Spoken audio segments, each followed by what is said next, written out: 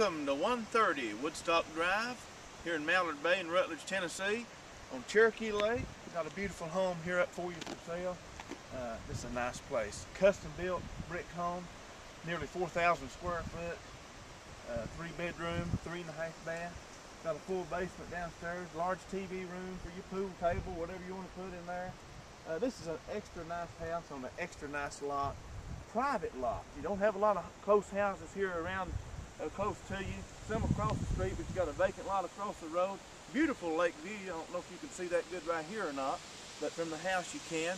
Off to your left, and this is main channel on Cherokee Lake.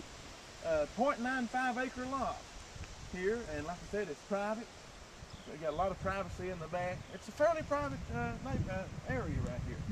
And it's a beautiful home. You've got to see this, folks. Give me a call today, 865-356-3150. I can help you get your finance. I'm in I'm in cahoots with the big financial gurus here in Grainger and Hamblen counties. I can get you finance.